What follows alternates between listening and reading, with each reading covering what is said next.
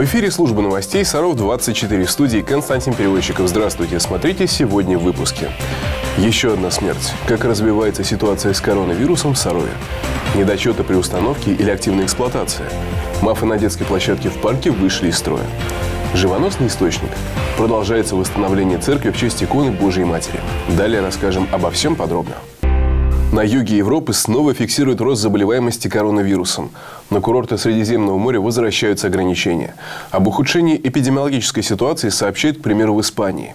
В разгар пандемии страна входила в лидеры по числу заболевших.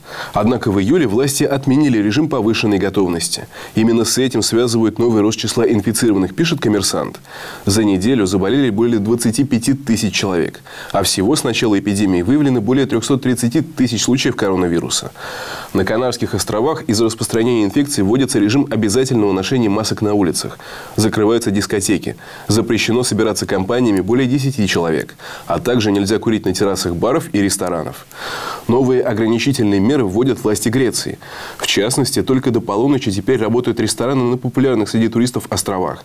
А в отдельных регионах бары и рестораны закрываются до 24 августа. Рост количества заболевших наблюдается уже две недели, что также связывает с наплывом туристов. Если даже весной, в период действия карантина, количество заболевших не превышало 120 человек в день, то сейчас это число выросло до 250-260 в день. Во многом из-за приехавших туристов. При этом на всю страну приходится порядка 700 мест интенсивной терапии. Власти ужесточили некоторые меры. Например, ввели повсеместное ношение масок в закрытых помещениях. На пляжах распорядились соблюдать меры социального дистанцирования. Турция приблизилась ко второму пику первой волны коронавируса, заявили в сообществе таракальных хирургов. Как отметили в организации, число суточных заражений продолжает расти, предположительно из-за ослабления ограничений. Наибольший прирост зафиксировали после празднования Курбан-Байрама. У многих врачей наблюдается выгорание. В нашей стране провели исследование популяционного иммунитета. Исходя из полученных результатов, Роспотребнадзор назвал 7 регионов, в которых у 20% жителей есть иммунитет к коронавирусу. Это Татарстан, Москва, Санкт-Петербург, Астраханская, Московская, Ленинградская и Тюменская области. По состоянию на 18 августа в России зафиксировано более 932 тысяч случаев заражения коронавирусом. За последние сутки выявили 4748 новых больных. 742 тысячи россиян выздоровели. 15 872 человека скончались. 116 случаев заражения коронавирусной инфекцией выявлено в Нижегородской области на 18 августа. Общее число жителей региона с COVID-19 приближается к 26 тысячам человек, сообщили в региональном Минздраве. Около 1800 нижегородцев находятся на амбулаторном лечении, то есть болезнь у них протекает в легкой или бессимптомной форме. 850 человек лечатся в больницах. Почти 23 тысячи, около 88% уже здоровы. За последние сутки из больниц выписаны еще 228 человек. Шесть новых случаев заболевания коронавирусной инфекцией зафиксировано в Сарове за минувшие сутки.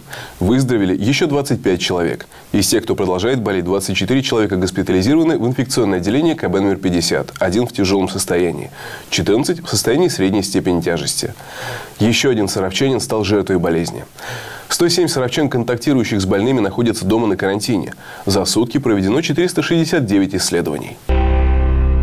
Детскую поликлинику в старом районе построили в конце 60-х годов прошлого века.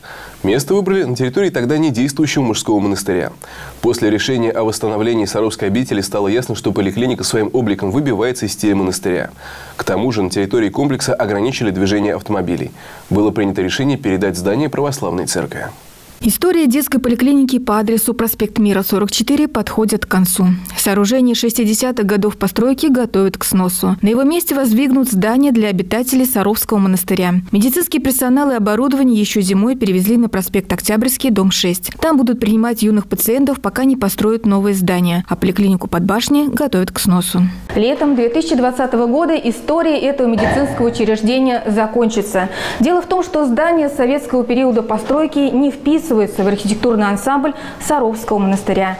И рабочие уже приступили к демонтажу. Здание поликлиники на территории монастыря считается новоделом. К тому же специалисты провели экспертизу и вынесли неутешительный вердикт. Фундамент находится в аварийном состоянии. Сейчас идет второй этап сноса – очистка объекта. Рабочие вывозят из здания металлические и деревянные конструкции, а также стекло и электропроводку. После этого начнут сносить само здание. Работы завершатся полной уборкой и вывозом строительного мусора. До 31 августа принимаются работы на пятый всероссийский конкурс «Слава Созидателям». Принять в нем участие могут школьники с 1 по 11 класс. Можно снять видеоролик с рассказом о выбранном герое. Или представить две фотографии – архивную и современную, на которой человек снят в том же месте, той же позе, в похожей одежде. И короткий рассказ о герое. Подробности на сайте Департамента образования Сарова. Другая важная информация в подборке коротких новостей. На горячее питание в школах Нижегородской области выделят 450 миллионов рублей. Об этом сообщает издание «Коммерсант». Для справки, с 1 сентября учеников первых, вторых, третьих и четвертых классов будут бесплатно кормить завтраками, а если они учатся во вторую смену, то обедами. Согласно Санпину, завтрак должен содержать в себе от 12 до 16 граммов белка, столько же граммов жира и 60-80 граммов углеводов. Если дети учатся во вторую смену, их накормят обедом. Заменять его завтраком нельзя, так как он должен быть более сытным. Содержать 20-25 граммов белка – такое же количество жира и до 100 граммов углеродов. С 18 августа городская художественная галерея начнет принимать работы на выставку «Художники Сарова-2020». В этом году она будет приурочена к 75-летию атомной промышленности. Экспозиция, которая откроется в сентябре, будет включать в себя живопись, графику, скульптуру, декоративно-прикладное искусство. По опыту прошлых лет в ней примут участие несколько десятков представителей творческих кругов нашего города, каждый из которых представит свое видение Сарова. Более подробную информацию о выставке и тех требованиях, которым должны соответствовать работы участников, можно узнать по телефону 702 80 77 и 6 6409. В Сарове продолжается благотворительная акция «С миру по листочку». Горожане могут помочь собрать в школу ребят, семьи которых оказались в непростой ситуации. К началу нового учебного года детям купят ранцы, канцтовары и другие необходимые принадлежности. По традиции волонтеры собирают пожертвования возле крупных торговых центров. Также все, кто хочет помочь детям, могут перевести пожертвования через платформу «Я соберу». Реквизиты онлайн-кошелька, в том числе QR-код сбора, опубликованы в официальной группе волонтерского центра «Радость моя» ВКонтакте. Роспотребнадзор рекомендовал российским школам предусмотреть возможность перехода на дистанционное обучение в случае ухудшения эпидемиологической обстановки. Ведомство опубликовало соответствующий документ. Помимо прочего, в нем говорится, что линейки 1 сентября рекомендовано провести по классам или параллелям на открытом воздухе. При этом родители должны быть в масках. В новом учебном году за каждым классом должны закрепить свой кабинет. Школьные факультативы рекомендовано проводить по выходным. Между тем, правозащитникам поступает все больше жалоб на поборы в школах на фоне пандемии. В связи с рекомендациями Роспотребнадзора учителя требуют от родителей сдать деньги на термометры и средства защиты. Хотя всем необходимым школы должны обеспечить региональные власти. В группах канала 16 в социальных сетях мы спросили саровчан, предлагали им сдать деньги на термометры и средства защиты. Большинство ответили нет. Поступало подобное предложение почти 3,5% опрошенных. Нет детей школьного возраста у 28% респондентов. Детскую площадку в парке сдали в декабре 2018 года. В апреле 2019 подрядчику пришлось переделывать все недостатки и недочеты, допущенные при строительстве. Тогда все починили, но уже этим летом горожане вновь пожаловались на разрушение. Часть мафов уже нельзя эксплуатировать. Почему так получилось? Это результат установки зимой или активной эксплуатации? В ситуации разбиралась наша съемочная группа.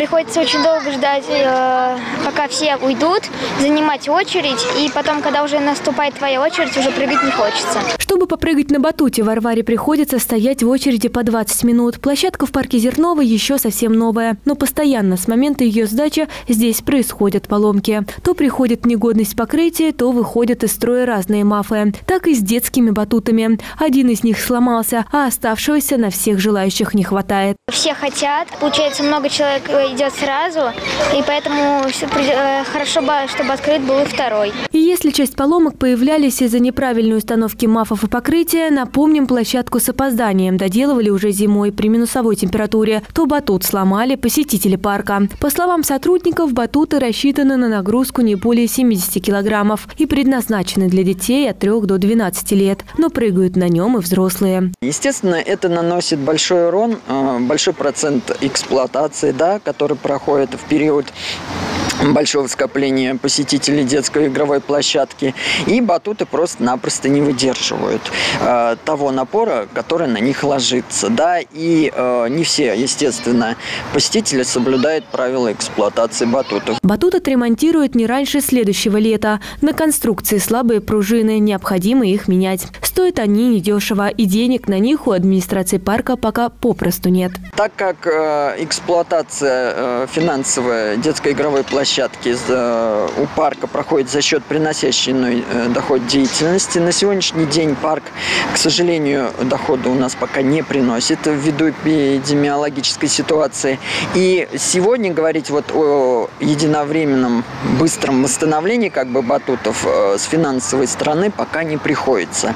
Чтобы аттракционы дольше радовали саровчан, необходимо не так уж и много. Всего лишь соблюдать правила пользования батутами и прочими сооружениями. Все они написаны на входе на детскую площадку отдохнуть и получить за это деньги. Государство готово возмещать россиянам часть расходов, если они проведут отпуск в нашей стране.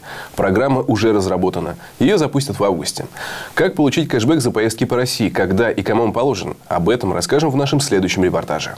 Программа возврата за отдых в России будет действовать с 21 по 28 августа. Участником может стать любой гражданин России. Все кэшбэки будут перечислять только на карту МИР. Для этого ее необходимо зарегистрировать в программе лояльности. Поездку можно забронировать на сайте мирпутешествий.рф или сделать это через турагентство партнеров программы. Оплатить путевку нужно сразу полностью. В течение нескольких дней на карту вернется часть потраченных денег. Это действует и на тур, и на турпакет, э, не влияет. Да? Это считается на путевку нагрузку, то есть не на, не на одного человека, допустим, у нас едет семья, там папа, мама, ребенок, то есть это считается в общем. И какой идет кэшбэк? Кэшбэк идет у нас от э, 25 до 50 тысяч рублей, это будет 5 тысяч возврата, от 50 до 75 будет 10 тысяч возврата, и от 75 э, и выше 15 тысяч будет идти возврат. В любой регион России по этой программе можно поехать с 21 августа по 20 декабря. Исключение 7 регионов. Это Алтайский край и Республика Алтай, Калининградская область, Республика Крым и Севастополь, Краснодарский край и Ставропольский край. Получить кэшбэк за поездки туда можно с 1 октября по 20 декабря. Путешествие в любом случае должно завершиться до 31 декабря. Тур должен быть не меньше э, 4 дней и не меньше э, 15, там, от 15 тысяч. При этом, если человек забронировал тур до 21 21 августа, то компенсацию он не получит. Программа действует только с 21 по 28 августа. Все подробности на сайте мирпутешествий.рф. Становление, забвение и возрождение. На территории Саровского монастыря продолжается строительство церкви в честь иконы Божьей Матери «Живоносный источник». Несколько недель назад художники приступили к росписи храма. Работы выполняют иконописцы Борской мастерской «Ковчег». Об истории храма и особенностях восстановления смотрите в следующем репортаже церкви в честь иконы Божией Матери Живоносный источник 300 лет назад началась Саровская обитель. Но по стечению обстоятельств восстанавливают этот храм последним. Первое здание церкви было деревянным и осветили его летом 1706 года. Почти 40 лет она была главной в Саровской пустыне. В середине 18 века начали строить каменное здание храма. Во время археологических раскопок два года назад специалисты определили примерное место нахождения фонтана, который символизировал собой живоносный источник, а также обнаружили останки монахов и благотворителей монастыря. После революции в церкви располагались общежития и столовая. В середине 20 века храм сравняли с землей. Восстанавливать церковь начали весной прошлого года. Этим летом приступили к росписи стен. Работы выполняют художники иконописной мастерской «Ковчег». Мы отталкивались от старых фотографий, хотя их не так много по живоносному источнику. Э, их даже, наверное, по интерьеру это одна фотография, пожалуй, известная, а, где а, запечатлен именно вот эта часть храма, четверик. Четверик еще заставлен строительными лесами. Роспись храма иконописцы начали с алтаря. Его будут украшать классические сюжеты. Моление о чаше, тайная вечеря, распятие, снятие с креста, вознесение. В центральном барабане нанесут изображение спасителя с державой. Работаем а, в стиле академической живописи, масляными красками. Соответственно, соответствующая подготовка нужна для стен. А, и работа начинается с эскизов, с проектов. Пока мастера только набирают обороты. Всего над росписью стен храма трудится 15 человек. Это сотрудники иконописной мастерской и саровские художники. Освещение храма планируется через год. И это все, о чем мы успели рассказать сегодня. Следите за новостями города в группах канала 16, в социальных сетях ВКонтакте, Фейсбук и Одноклассники. Подписывайтесь на наш канал в Ютубе и смотрите все информационные выпуски, авторские программы и расширенные версии репортажей в удобное для вас время. В студии работал Константин Переводчиков. Всего вам доброго и хороших вам новостей.